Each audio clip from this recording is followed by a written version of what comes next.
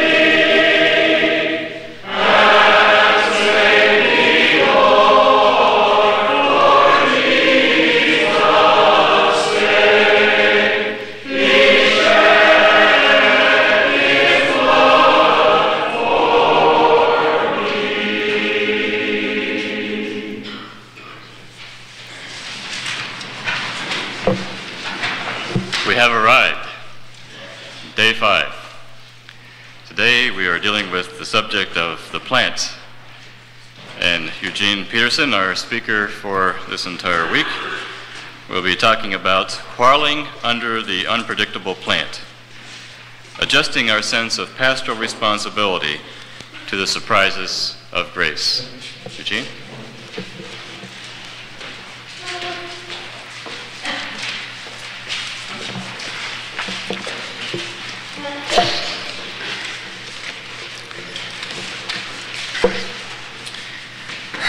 I would like to thank you for your welcome and your um, appreciation and your receptivity. I feel connected with you. I have. Um, I didn't know if we'd connect. Um, we started out as strangers. I don't feel like we're strangers anymore.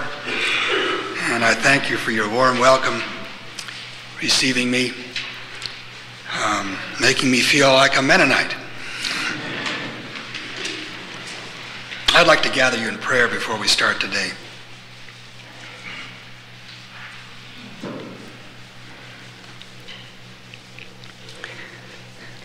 Lord Jesus Christ, we thank you for this bright sun coming up over the horizon, pouring light and warmth into our lives, and for your own, your own presence here in this place. We thank you for this holy calling that we are in, for brothers and sisters who share it with us, encourage us, help us along the way. And we thank you for these days we've had together as we've tried to deepen our sense of identity, our call. And we thank you for this book, this Jonah book that has released so many insights among us. Continue to be with us. Continue to deepen your call within us. In Jesus' name, amen.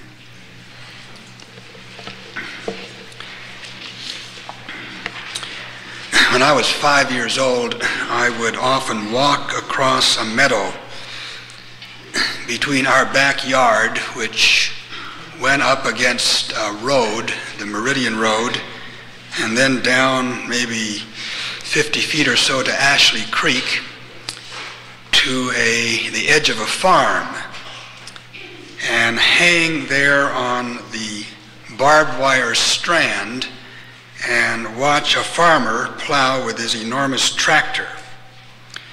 The thing that I wanted more than anything else at that time in my life was to ride on that huge green John Deere tractor. And one summer day, as I was standing at the fence, I would never have dared to climb through it. I was watching Brother Storm, for that was the farmer's name, plow his fields. He was probably a hundred yards away from me when he spotted me. And he stopped the tractor and he made strong waving motions with his arm like that. And I stood there and watched him. I'd never seen anyone use a gesture like that before. And he looked mean and angry. He was a large man, ominous in those bib overalls and that straw hat and I knew that I probably was where I shouldn't be. So I turned and left. Sadly, I really hadn't felt I was doing anything wrong. I was only watching from what I thought was a safe distance, wishing that someday, somehow, I'd get to ride on that tractor. And I went home feeling rejected, rebuked,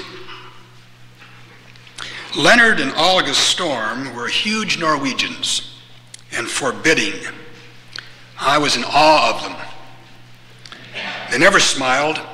They had a kind of Nordic gloom that just kind of poured through them. they were members of our church and always sat in the back row with their son who was confined to a wheelchair with muscular dystrophy. They were also rich at least they were rich by the standards of our working class sectarian congregation. And they had moved into our mountain valley from the plains of eastern Montana, where they had reputedly made a lot of money in the grain fields and a couple of oil wells. A nice supplement to grain. Whenever there was need for money in our church, special needs like the furnace needed to be replaced, our pastor would work the fundraising from the pulpit.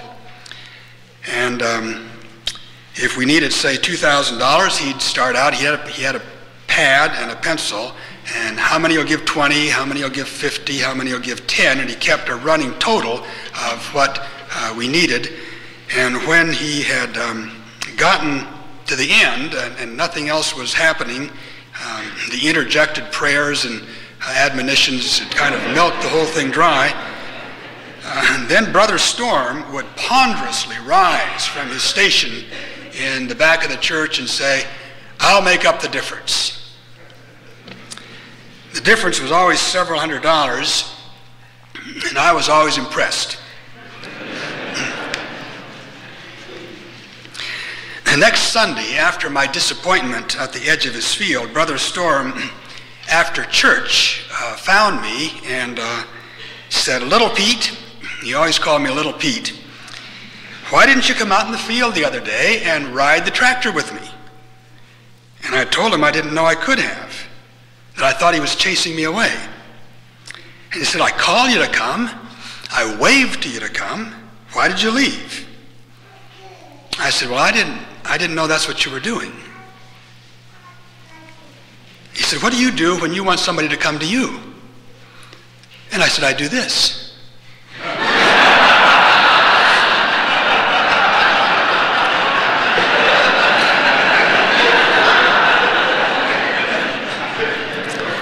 Well, he, he harumphed. Remember that old cartoon about Major Hoople? Well, Brother Storm looked kind of like Major Hoople. He had a large uh, front, and, and, and Major Hoople always harumphed. And, and Brother Storm is the only other person I've ever known outside that comic strip who harumphed. And he harumphed and he said to me, Little Pete, that's piddling. On the farm, we do things big.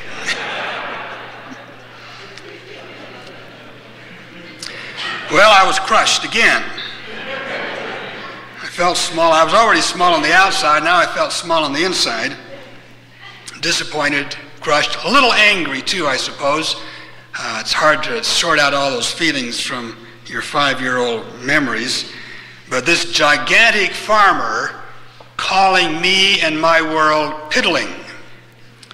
I was a five year old Jonah, displeased exceedingly. I'm not trying to trying for anything precise in my comparison with Jonah, but I'm trying to locate the common elements in the failure of imagination that prevented me from enjoying that John Deere tractor ride and the failure of imagination that prevented Jonah from rejoicing in the salvation of Nineveh. I had such a small idea of the world. I interpreted these large, generous actions of this farmer through the cramped, confined experiences of my childhood. And so, of course, I misinterpreted. Like Jonah, hanging on the fence at the edge of Nineveh, waiting to see what happens, and interpreting all the signs out there wrongly. And then angry in his disappointment. Jonah's sulking disappointment under that plant came from a failure of imagination. He had no idea of what God was doing, the largeness of his love and mercy and salvation. He had reduced the world and Nineveh and God to his own idea of it, his own small experience of it. He was in the right place, he was doing the right thing, but he interpreted everything through his Jonah ideas his Jonah experience. And so he interpreted wrongly. He was probably pleased with himself that he had become obedient, but he was inexperienced in God, a stranger to grace. He had a program laid out for Nineveh, but God had a destiny to fulfill in Nineveh. Jonah's program was a little child's index finger. And God's destiny was a huge windmill gesture. Jonah had a child-sized plan that didn't pan out. God had a hugely dimensioned destiny that surprised everyone when it was enacted. Jonah assumed that he knew exactly what God would do. And when God didn't do it, he went into a sulk. God had purposes far exceeding anything Jonah imagined. Now, what I want to do today is I want to deal with the daily difficulty that you and I, as pastors, have in adjusting our sense of responsibility to the surprises of grace. We're in charge of maintaining institutional and moral order in a place that is just seething brimming with the energies of a creative spirit. And we repeatedly find ourselves at odds with God, disappointed and quarrelsome because our procedures, our obedience didn't work out the way we thought it was going to. And we stand, we stand in our pulpits and extend a little index finger to suggest that these people tidy up their morality embellish their piety, and God is waving his huge windmill arms and calling them to grace, to mercy, to salvation. And they see him, they hear him, and they bypass us. And we wonder why we don't feel wonderful in that.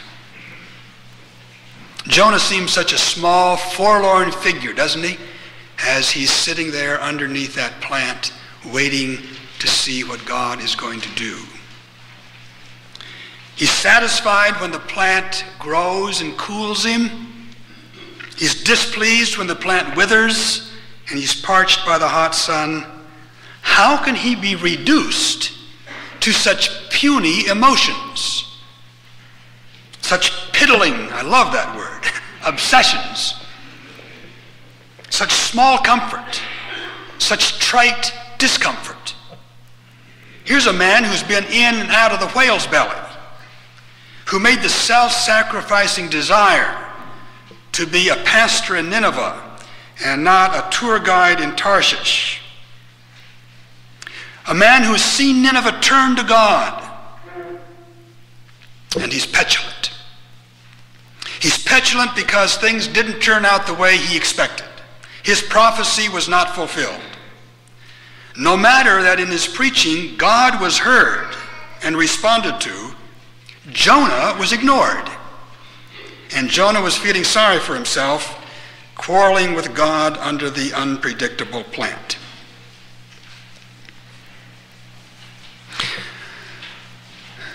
We're reading and pondering this story of Jonah with the hope of having our pastoral vocation clarified and motivated. It's not easy these days to figure out what it means to be a pastor.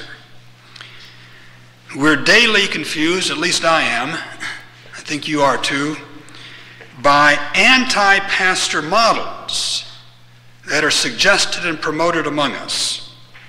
Jonah provides us with a wonderful story that deals with this, these crisscrossing signals and voices and experiences as we pick our way through this, and I think give us some help. In my first lecture, I tried to discern the difference between Tarshish glamour and Nineveh obedience. The touristy glitz of a religious career in contrast to the quite ordinary obedience of a pastoral vocation. In the second lecture, the task was to gain some perspective on our religious culture, develop a critical stance so that we wouldn't be taken in by all this well-meaning idolatry. Pastors don't belong on the religious ship at all, and we need to get off, even if it means getting thrown off. In my third lecture, In the Belly of the Fish, we found a context in which to develop a pastoral ascetic, the form and content of prayer that would provide a center and substance to the pastoral vocation. And if there's any place in this, these lectures where I would have liked to have just kept going for another week right on that subject, it's there. In the fourth lecture, yesterday, we determined that the genius of the pastoral vocation was that it works in place, geography, and that the geography is yoked to eschatology, the prize of the high calling of God in Christ Jesus. There's an immersion in particulars, no proclamation of impressive abstractions. This immersion in particulars, which is the stock and trade of the pastor, but yoked, linked to this pull to something grand, purposeful, the salvation in Jesus Christ. And now in this fifth and final lecture, I want to see how Jonah is surprised by grace. So taken aback by it that he's disagreeable about it. And this is the adjustment that pastors have to make when we make this transition from doing work for God in which we expect to have some success and observing God work through us in ways that we never guessed were possible. Ways that are much better than we thought possible, but they don't provide those small ego gratifications that we get so addicted to in our Jonah life.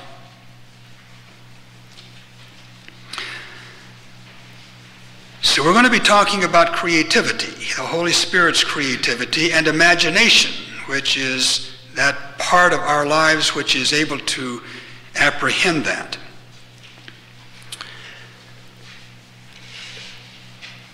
I was speaking to a group of seminarians uh, three or four months ago, and um, they were, we were on a retreat. They were getting ready to enter their school term. And um, one of them in the discussion period asked me what I like most about being a pastor. And sometimes you get answers, you, you say things in those times that turn out to be truer than you thought they were. And I, my spontaneous remark was, I like the mess. I like just that mess of being a pastor. And the tohu vabohu, the chaos, um, entering into people's lives that just are tangled and muddy, and then burying yourself in that, and then slowly finding that there's something going on. Lives coming together, the Word of God being heard, um, and, um, and eventually that sense of creativity that works out into something whole, healed, saved, enlightened, motivated. Never know how it's going to turn out. Never know what's going to happen. I like that. I don't enjoy the mess. I, I can't say that. I, that's, but that's, that's always preparatory. The, the, this preparing power of chaos, which is at the beginning of Genesis as the creative work starts. When you do something creative, when you're being creative, when you're involved in someone else's creativity, most of what you do doesn't work. You know that. You throw most of your stuff away. Anybody who writes a poem throws away 90 drafts before they get the final one. If you write a story, same thing.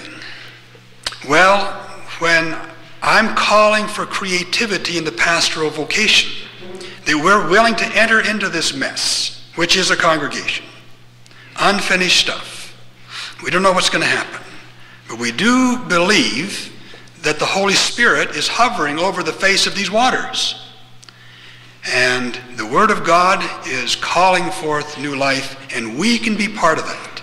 But we never know how it's going to turn out. And we throw away most of what we do. Most of what we do turns out not to be very good. And yet you can't be creative otherwise. If you, want to, if you want guarantees that your efforts are going to work, you have to paint by numbers. You have, to, you have to get things that are all done before you. But that's no fun. You get bored doing that pretty fast. So you learn as you enter into the creative process to love the mess. remember years ago I was uh, with a friend, well he wasn't a friend, he was an acquaintance. And um, he was leaving. He just accepted a call to another church. He'd, only, he'd been there five years, and um, now he was going to a church which was um, much larger. And I, I, was surprised that he was leaving so soon. I said, Bob, what, what are you leaving so soon for? Now, this is one of our, uh, in our, I don't know if you have people like this in your church, but this is one of those tall steeple boys, we call. And he was good looking, uh, had, a, had a charismatic smile that he used to good effect and uh, he could make people do things. And he said, well, I've, I've been here five years. I've got my program in place and it's working. There's nothing left for me to do. And I walked away from that thinking, program, program in place and working. And there's nothing left for me to do. And that just seemed odd. It just struck me as odd. What does a program have to do with creativity? What does program have to do with God and passion? I mean, programs are, are useful and necessary around the periphery. There's some things you have to, some places where you have to paint by the numbers. But at the center, the vocation, the calling of being a pastor program, in my denomination, we have what is called a program agency. And they publish what they call a program calendar which tells you what to do all year long, every week.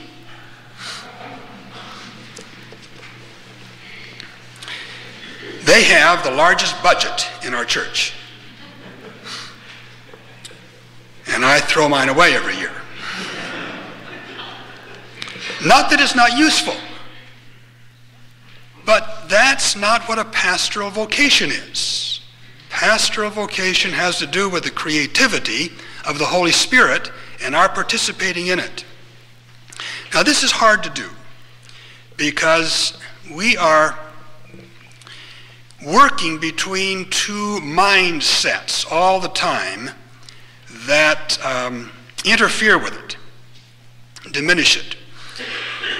We work with a mindset that's messianic on one hand and managerial on the other. Now, the messianic mindset has to do with helping people and making things better. And all of you are good at this. Um, when I meet somebody, just one of two things happens automatically. I, I don't go through any process of, of sorting out. This just happens. You meet somebody, and, a, and within 10 seconds, you know this person's hurting. This person's in trouble. And um, so all these, these emotions and feelings, the adrenaline starts to flow. You're going to help, and it's something you're good at. You know you can do something. You've been trained in it. You've been pulled, called, you've been attracted into this way of life because you want to do something for these people. And um, so you become, you fall into the messianic mode. Human beings suffer a lot of damage in the course of their lives. Some of the damage is visible a crippled hand, a scar on the cheek, an arthritic limb. But most of it is not. Most of it's invisible. Childhood wounds, marital wounds, cultural, racial, sexist wounds. So we watch for clues. We pick up signs. We learn to detect these inner hurts and are motivated to comfort, to help, and to heal. And we're commonly good at this, both by temperament and training. We have a natural desire and capacity to help people, and then we're trained in the best ways of doing it, learning the skills of listening, of counseling, referral. And when we meet somebody and detect this emotional hurt or psychic maiming, we're ready to go to work. We're on the job. We're going to help. This is messianic work, the work of Messiah who made women and men whole. Well, this is good and honorable work. It's also richly rewarding. People like being helped, and they are often grateful for our help. Once in a while, we come across people who are just intractable cases, neurotic blobs, and parasitic ingrates that just clog the arteries of the messianic ministry.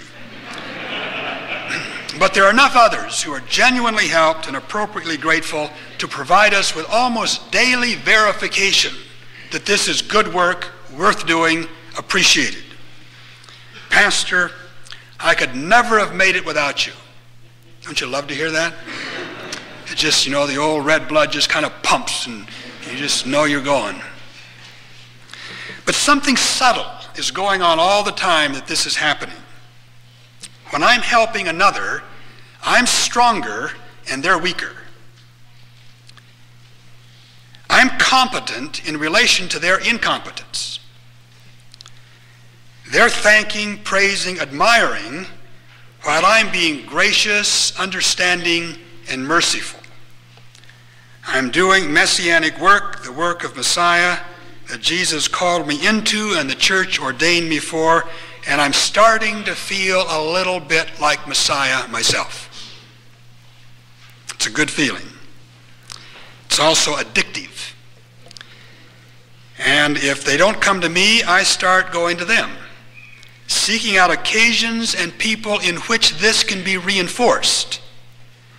And at some point along the way, I cross a line.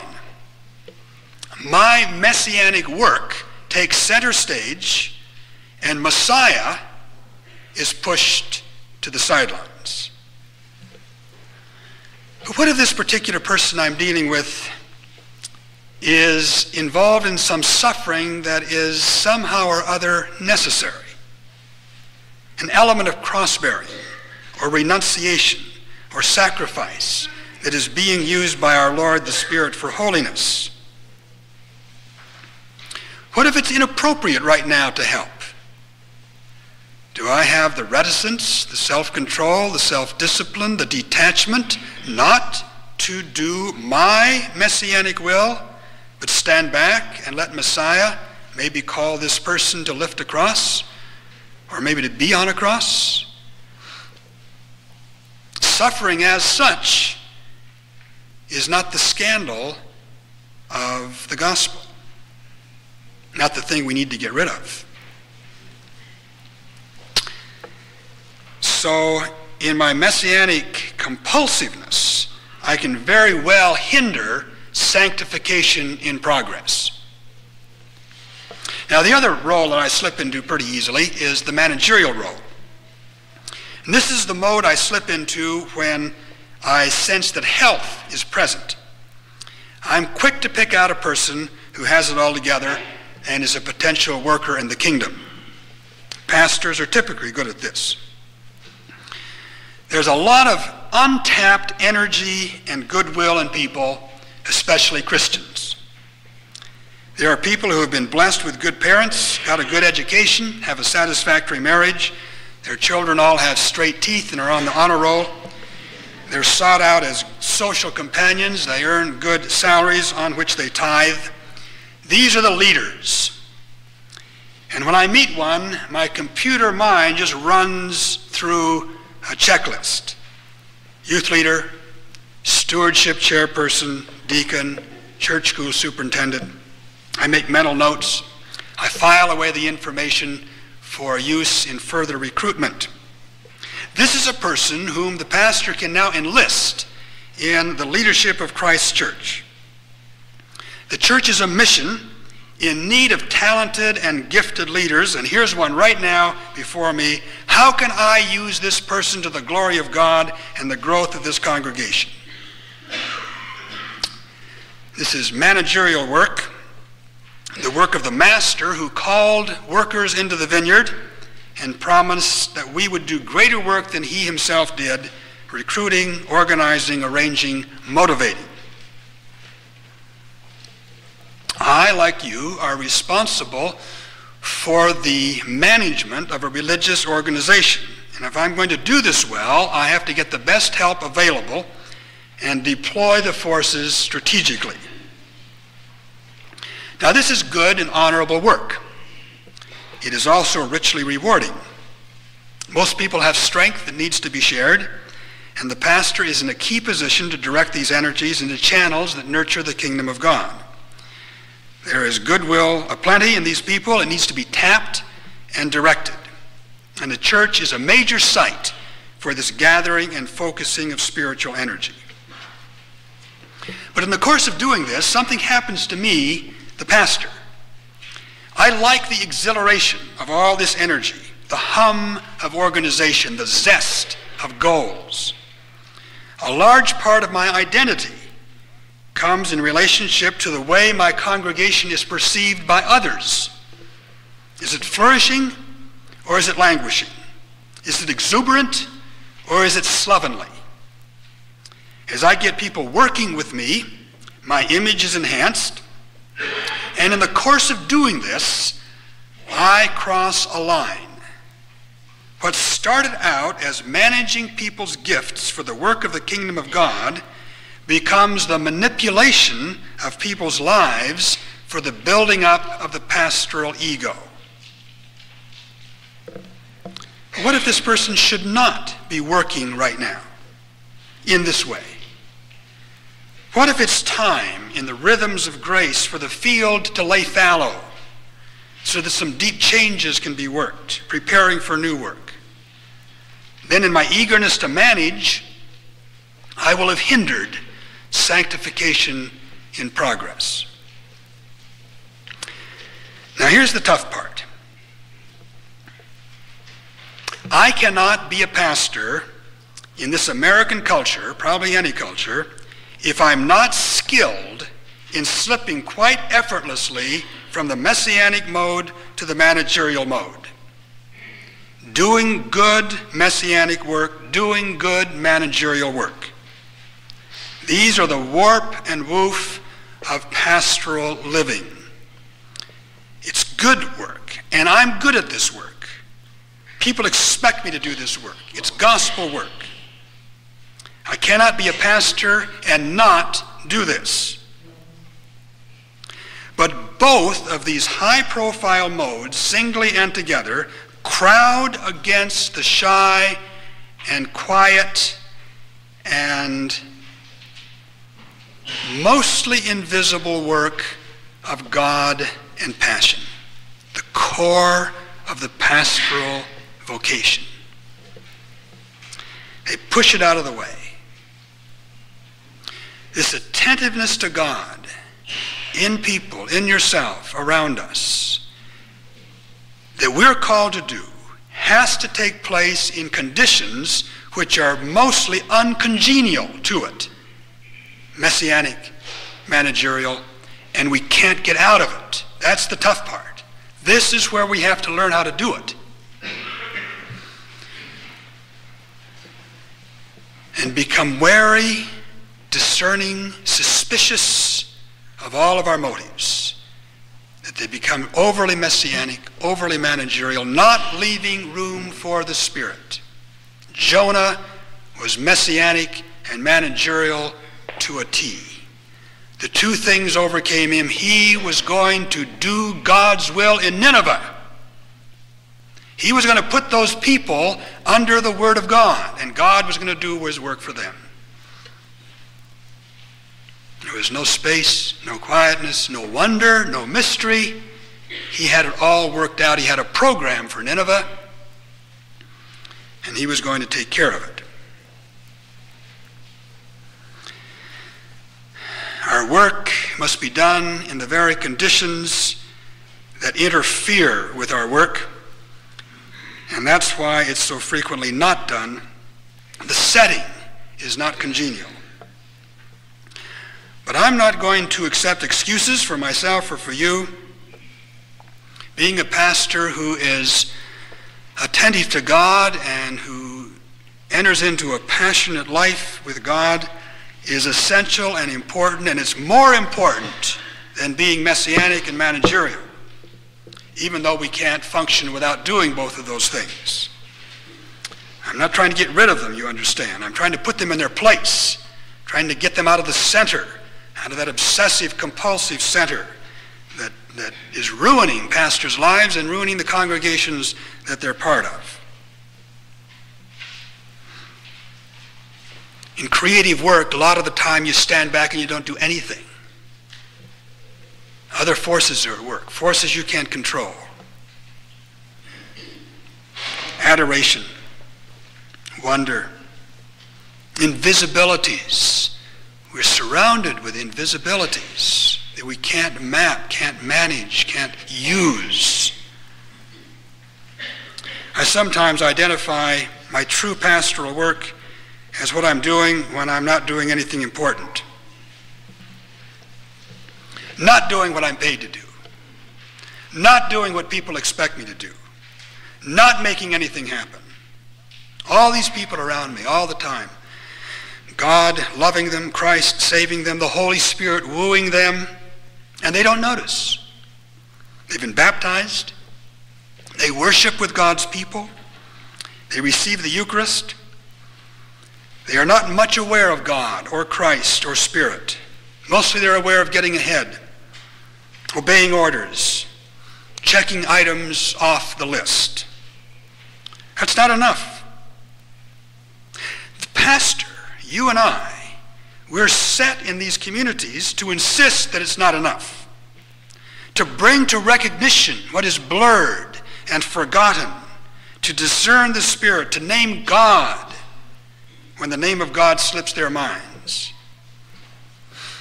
I'm terrible with names, they say. Okay, we say, I understand. Here's Yahweh. This is Christos. This is Kurios. That's what's going on here.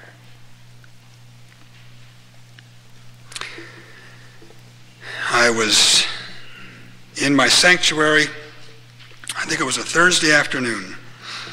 I had 13 four-year-old children on the carpet on the chancel steps. It was late February. I sat there with them holding last season's bird nest in my hand and talked about the birds that were on their way back to build nests like this one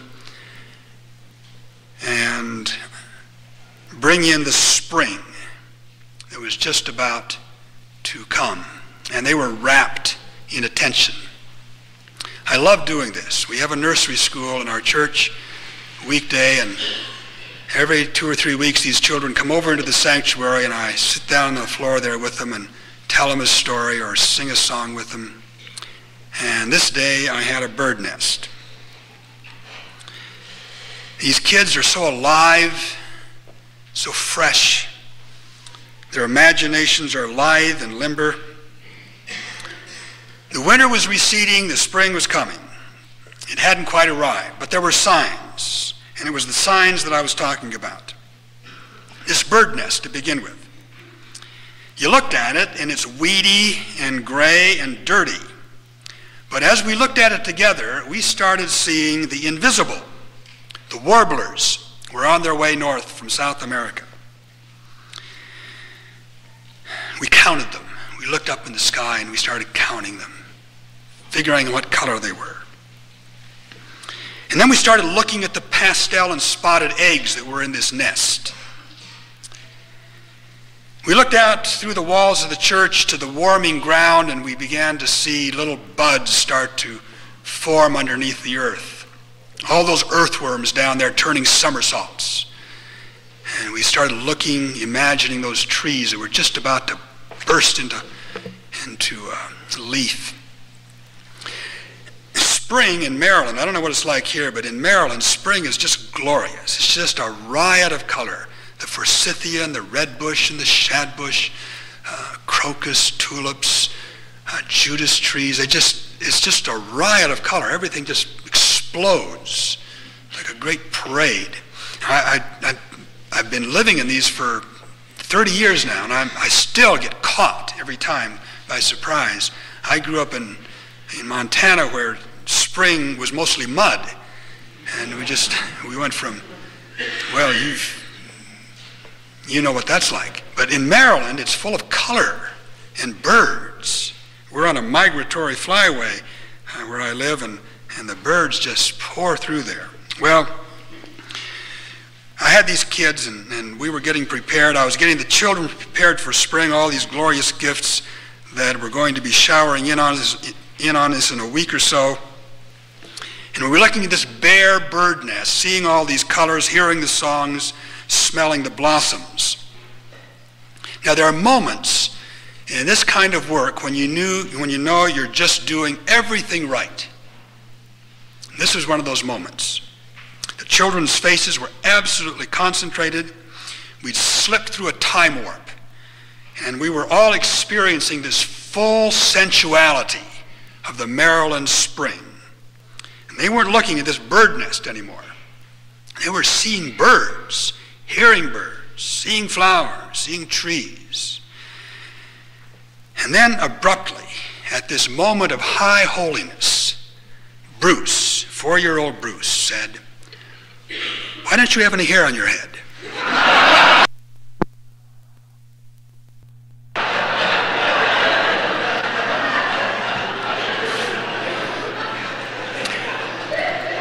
Why didn't Bruce see what the rest of us were seeing? Why hadn't he made that transition to seeing the invisible that we had all made? All he saw was that visible patch of baldness on my head, which was a fact, but not a very interesting fact, while all the rest of us were seeing these multi-dimension truths, real truths. Only four years old and Bruce's imagination was already crippled. Usually doesn't happen this early. Childhood is uh, naturally rich in imagination and often, usually, has a built in immune system to the cultural poisons that destroy it. But sometimes the immune system, unsupported by stories and songs, succumbs to the poison gas of television, and you end up with a Bruce. Those of us who are made in the image of God have, as a consequence, image, image, imagination. Imagination is the capacity to make connections between the visible and the invisible, between heaven and earth, between present and past, between present and future. For Christians, whose largest investment is in the invisible, the imagination is indispensable. For it is only by means of the imagination that we can see reality whole and in context. What imagination does with reality is the reality that we live by. When I look at a tree, most of what I see, I don't see at all. I see a root system beneath the surface, sending tendrils down through the soil, sucking up nutrients out of the loam. I see the light pouring energy into the protoplast packed leaves. I see the fruit that's going to appear in a few months. I stare and stare and see bare branches, austere in next winter's snow and ice and wind. I see all that. I really do. I'm not making it up. But I couldn't photograph it. I see it by means of the imagination. And if my imagination is stunted or inactive, I will only see what I can use or what is in my way. In other words, I will only see as a Messiah or as a manager. Czesław Milosz, the Nobel Prize winning poet, he has a great passion for God. And that passion is supported and deepened by his imagination. He said in an interview a couple years ago, he's Polish. And so he has somewhat the advantage of an outsider coming in and, and looking at our country. He said that the minds of Americans have been dangerously diluted by explanation. And he's convinced that our imagination deficient educational process has left us with a naive picture of the world. In this naive view, the universe has space and time, but nothing else. All you see is a bird's nest. No values, no God. Functionally speaking, visibly, men and women aren't that different from a virus or a bacteria or some speck in the universe. Milosz sees the imagination, and especially the religious imagination, which is the developed capacity to be in reverence before whatever confronts us. He sees this as the shaping force of the world we really live in. Imagination can fashion the world into a homeland as well as into a prison or a place of battle. It's the invisibles that determine how you will view the world. You hold that bird nest congregation in your hand what do you see? It's your imagination that shapes your life and how you're going to respond to it. Nobody lives in an objective world. We only live in a world that's filtered through the imagination. And the imagination is almost the same thing as we call faith. Maybe it is the same thing. One of the evils of our time, and too often unremarked, is the systematic degradation of the imagination. The imagination is among the chief glories of the human. When it's healthy and energetic, it ushers us into adoration and wonder into the mysteries of God. When it's neurotic and sluggish, it turns people and pastors God help us, into parasites, copycats, couch potatoes. And the American pastoral imagination today is distressingly sluggish. Most of what is served up to us as the fruits of the imagination is, in fact, a debasing of it into some do-goodism program or soap opera entertainment. And I think one of the chief essential Christian ministries now among pastors in our ruined world is to recover this use of the imagination. Ages of faith have always been rich in imagination, and it's easy to see why. The materiality of the gospel, seen, heard, touched Jesus, is no less impressive than its spirituality faith, hope, love. Imagination is the tool, the human tool we have for connecting the material and the spiritual, the visible and the invisible, earth and heaven. We have a pair of mental operations here imagination and explanation. They're designed to work in tandem. When they work together, the gospel is given a robust and healthy expression. Explanation pins things down so we can handle and use them, obey, teach, help, guide. Imagination opens things up so that we can grow into maturity, worship and adore, exclaim and honor, follow and trust. Explanation restricts defines and holds down. Imagination expands, lets loose. Explanation keeps our feet on the ground. Imagination lifts our head into the clouds. Explanation puts us into harness. Imagination catapults us into mystery. Explanation reduces life so that it can be used. Imagination enlarges life so that it can be adored. But our technological and information obsessed pastoral mindset has cut imagination from the team. In the life of the gospel, where everything originates and depends on what we cannot see and is worked out in what we can see, explanation and imagination cannot get along without each other. And I think it's time to get aggressive. For pastors to recognize and honor and commission ourselves and each other and, and friends as masters of the imagination. Get our poets and our singers and our storytellers as allies, partners in evangelical witness. How else is Bruce going to hear the gospel when he grows up? How is he going to hear Isaiah's poetry, Jesus' parables, John's visions? It's going to be a sad day if when he's 40 years old he enters a congregation of worshiping Christians and ministering angels and all he sees is a preacher's bald head. Jonah somehow lost his imagination.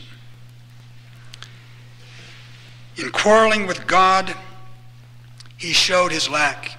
God was not a literalist. And Jonah was angry and disappointed. Jonah messianically taking charge of the destiny of the Nineveh congregation and then angry when his will was not done. Jonah managerially lining up the people for an evaluation review for judgment, and then angry when the whole thing turned into a singing and dancing celebration. What's God doing anyway? Why'd you bring me to this place if it wasn't to do my job, to manage, to Messiah? Jonah making his small finger gestures to which he had reduced his pastoral work, and then puzzled and angry, quarreling, petulant when God was calling people with these huge, merciful, everlasting arms into the kingdom. You might be interested in the end of that story I started out with. Two or three weeks later, I was standing at that fence hanging on the barbed wire again, and Brother Storm stopped his tractor out in the middle of the field, and he did it again. He waved his arms. And that time, I crawled through the fence and ran and climbed up on his tractor and had one of the wonderful rides of my life. And I think Jonah might have done that too. I don't think he stayed under that withered plant. I think at some point God reinvigorated his imagination and he went back into Nineveh, no longer just a bird's nest to be destroyed, but a spring, a resurrection spring, a congregation living to the glory of God. With a Jonah, creative, willing to live in the mess, willing to live modestly in the midst of this glorious work of a merciful God. Amen.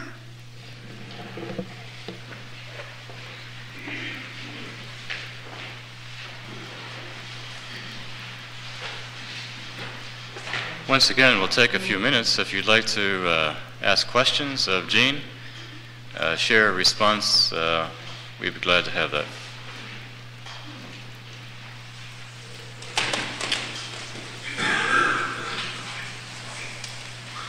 Yes, Keith. I'm just a little surprised that you didn't see the connection between your bald head and barren ground and the roots that was probably more most imagining the kids imagining what what you would look like with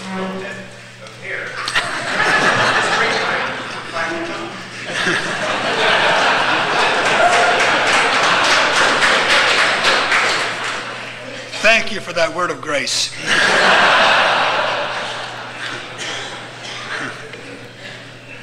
Bruce may have thought that full head of hair had disappeared in making a bird's nest.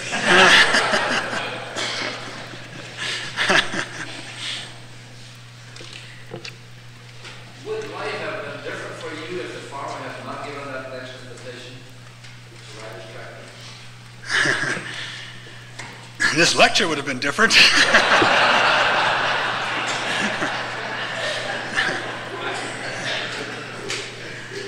I think there might have been other things that were just as good that I would have experienced along the way.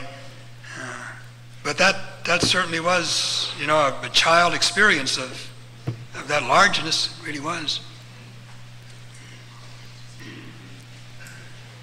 Yes is one of my best friends, and I submit as evidence that he uh, abandoned bitterness and got with the program. The fact that we have the book recorded as it is. Yes.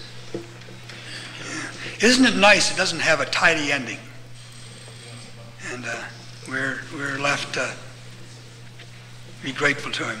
Yeah. yes.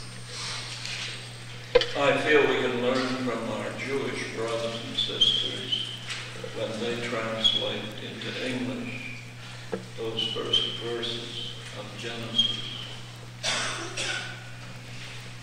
Uh, they're wary of uh, Trinitarianism, and said, and they write, the wind of God was moving across the face of the waters. And I think probably Holy Spirit reduces a tornado to something uh, weaker, non-existent. Good point. Yeah, that's it was something powerful, stormy, scary, maybe.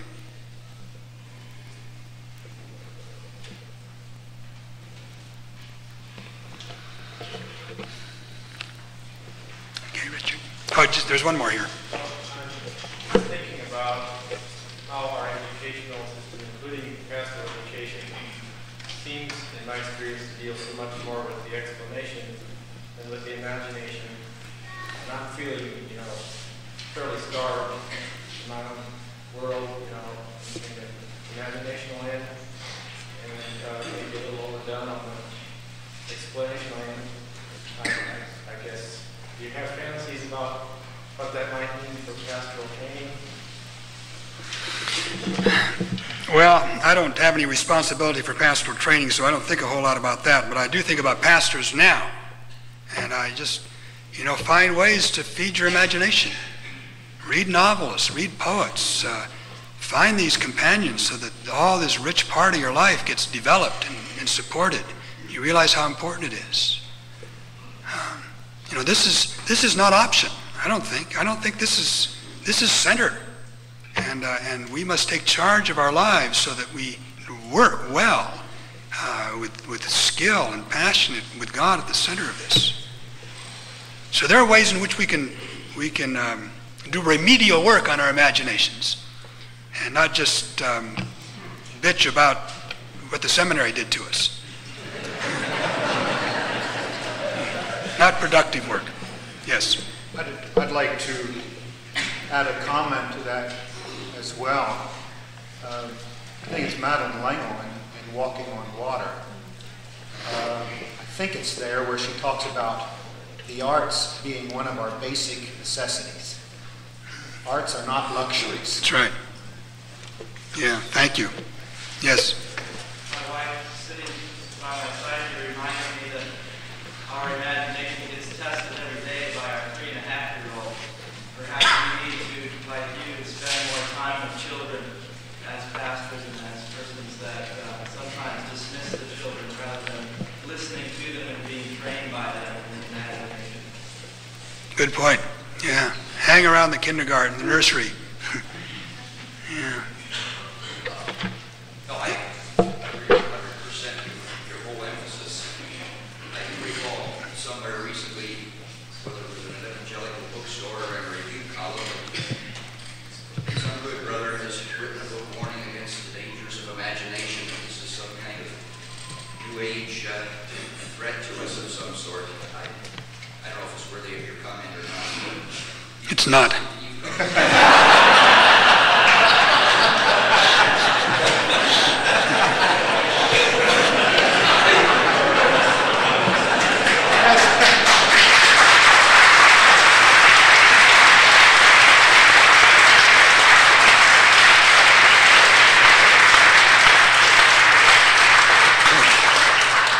I have a few very mundane, uh, unimaginative things to deal with here this morning. Uh, first of all, I'd like to call your attention once again to the evaluation forms which you were given in the registration packet. We'd like to hear from you very much in terms of your feedback for this year, as well as suggestions and comments for uh, future uh, Pastors' Weeks at AMBS. Also, again, uh, I should call your attention to the fact that the tapes, uh, which a number of you are ordering, will not be available at the end of the Pastors' Week today, but instead will be mailed to you within uh, 10 days or two weeks. Uh, an announcement was given to me that uh, Marc Ellis is going to be on campus. He will be meeting with uh, interested persons at noontime. I forget uh, the room that's been assigned, but check the flashboards in the main building over there. Marc is uh, a Jewish uh, theologian who's interested in the Middle East. Uh, I'd also uh, appreciate it if you would drop your name tag holders in a box provided on the registration table. That provides uh, the opportunity for recycling those. There are also a few lost and found items uh, back on the registration table. I would also invite all of you to return again at uh, 10:30. Uh, we, we will be having a worship uh, experience, a wrap up for the whole week, and we'll be hearing from June Alliman Yoder uh, preaching on the theme of the plants. I think this will be, uh, in relation to the other worship experiences, uh, briefer. Uh, we know that many of you are traveling long distances and would like to get started, so we will not prolong the worship this morning.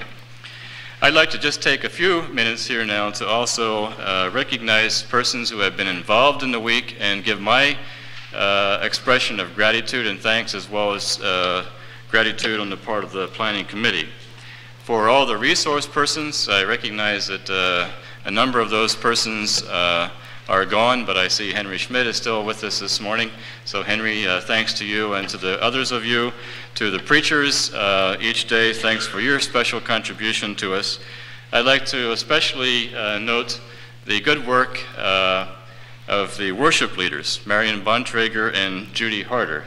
I told them ahead of time that I think this is a, a real opportunity uh, for ministry to come here and to lead pastors in worship because pastors oftentimes are leading worship themselves and caught up in, as it were, the mechanics of it and really can't fully worship. And so it's a good opportunity to help pastors to worship without having the responsibilities. And I think they performed that task admirably this week.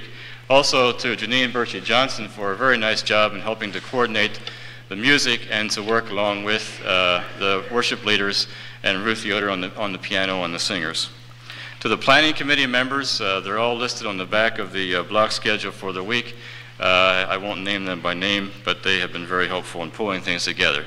Two persons behind the scenes that I'd like to recognize are Bev Sawatsky and Mary Stoltzfus. Uh, Bev has done very much in terms of pulling together the details, uh, providing uh, support to the committee and to myself, and uh, has taken the real load off of me this week as well as in the planning stages beforehand.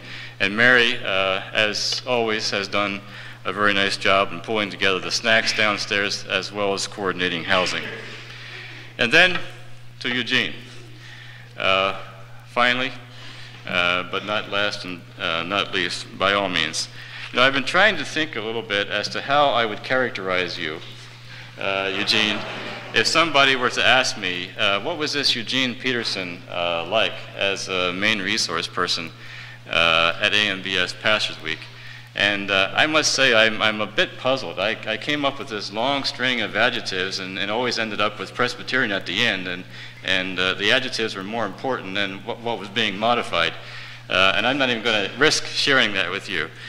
But I, I would say, I would say uh, two things. Uh, first of all, uh, many of you here are aware of the fact that I spent 10 years of my life as an editor. And one of the little things that we say as editors oftentimes is that when we assign an article or a book assignment to somebody, we're not really always sure quite what it is we're looking for, and we only know it when we see it. Uh, well, I was not even quite sure what it was we were asking you to do here uh, this week, uh, but what we asked for, you gave us.